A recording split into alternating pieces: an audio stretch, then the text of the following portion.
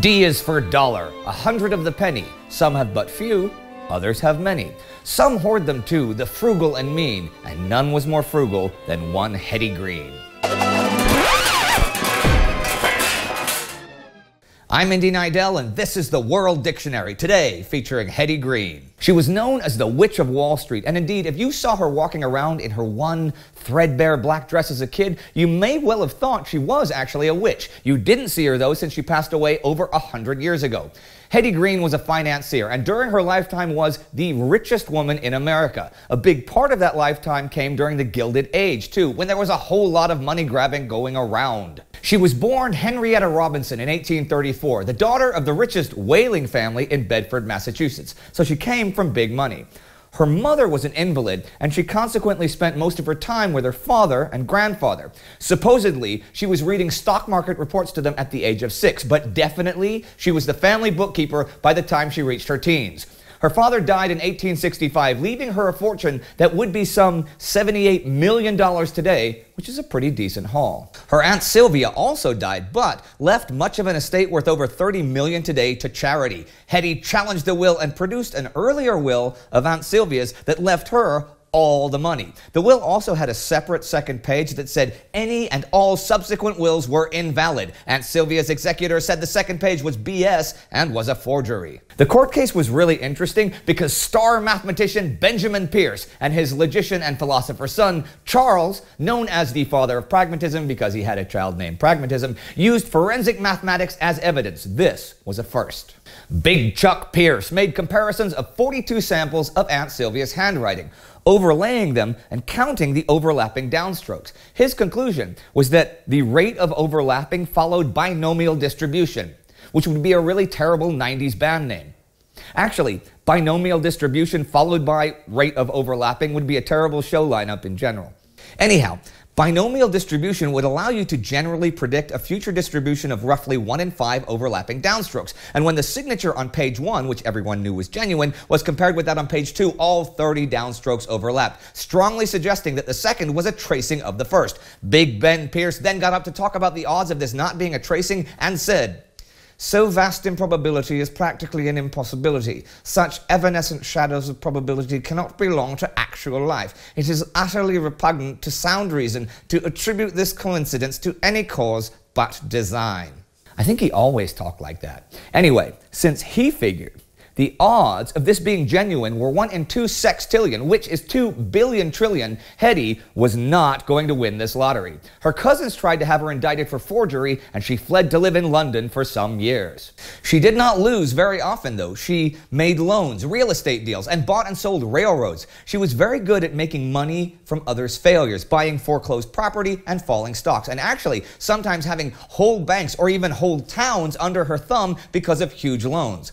Her basic strategy was conservative investments backed with large cash reserves and maintaining an astonishingly cool head when those around her panicked. She made enormous amounts of money during a time when pretty much no other women did. Heck, they wouldn't even have the vote in the US for another 50 years. As for her personal life, she did not trust the men around her that showed romantic interest, and with pretty good reason, being the richest woman in America. But she married Edward Green a year before the whole forgery thing. He renounced any rights to her money before the wedding, and he did have some money of his own.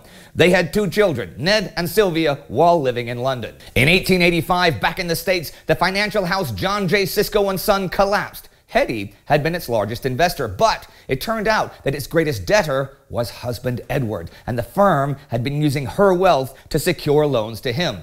Sign of the times, he was her husband and women had few rights. Well, she made damn sure their finances were truly separate after this, and Edward moved out.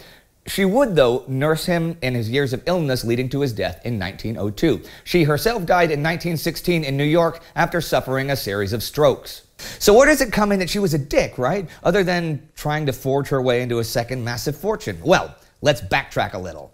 Hetty Green was stingy with money. She was a miser. In fact, she is in the Guinness Book of World Record as the world's greatest miser. That is a true story. She rarely used things like heating or soap just to save money. She did wear the one dirty, ragged black dress and underwear that she only changed when it wore out. She ate oatmeal or dirt cheap pies. She did her business at a bank's offices since she wouldn't pay for her own. And she moved around among small, unheated apartments to avoid both the tax collector and the press. I'm not going to go on about her meanness, but she would not be in Guinness if it wasn't unfriggin' believable. Though she explained herself like this.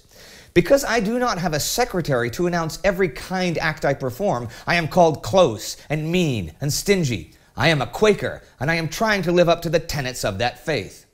Right? I mean, I'm guessing she wasn't a barrel of laughs, but hey, her money, right? How was she a dick? Well, let's look at her kids. They had to live the same basic hand to mouth dismal existence as mom, despite her wealth. Now, Ned broke his leg, and Hetty took him to the free clinic to avoid paying to fix it. Some sources say she left the clinic upon being recognized, but that's likely false. But nevertheless, she decided it would heal itself in time, helped along by Carter's little liver pills and oil of squills. Yep, oil of squills the leg got worse. And eventually, Father Edward realized how bad it was. He took Ned to the doctor, but the leg had to be amputated. Edward paid for the operation. Sylvia, of course, wore cast off clothing and slept by her mother in a cot wherever they were crashing.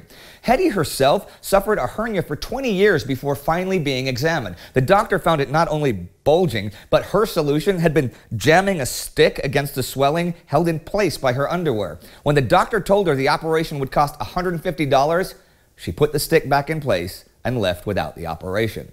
As for her fortune after her death, which went to the kids, Ned lived large with mansions and yachts, but still had a good sized fortune when he died in 1936, leaving that to Sylvia. Sylvia died in 1951, possessing several hundred million dollars, which she left pretty much entirely to hospitals, churches, and charities.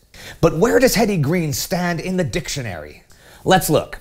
Her accomplishments made tons of money and certainly helped American commerce and finance. Uh, personally kept the city of New York financially afloat with loans several times. And on the Dick scale, the treatment of her children. Forged a document but was foiled by a new forensic technique. Held many people and institutions under her thumb by loans that she certainly didn't need to make to people she knew could not repay. Uh, I would give her a 2 of 3 on the achievement scale and a 1 of 3 on the Dick scale, since she wasn't a dick to mass populations and wasn't a dick in any murderous way. That would combine to give her an overall 1.5. However, I'm going to lower that because there is no way that her sort of greed and miserliness was not caused by a serious psychological condition. It doesn't excuse that behavior and mistreatment of others. And she must have realized and ignored her condition, which harmed lives. And most dicks have a few screws loose anyhow, but it does mitigate hers somewhat, bringing her score down to a 1, making her only a third class dick, the lowest class of dick we have in the World Dictionary. And hey, all those millions did end up going to charities in the end. That's it for today. If you know of any dicks throughout history that we should talk about, let us know who they are in the comments and please tell us why. Remember, living people do not count. Do not forget to subscribe to never miss a single letter of the alphabet and you can click right here for our alphabetical dick playlist. And hey, don't be a dick.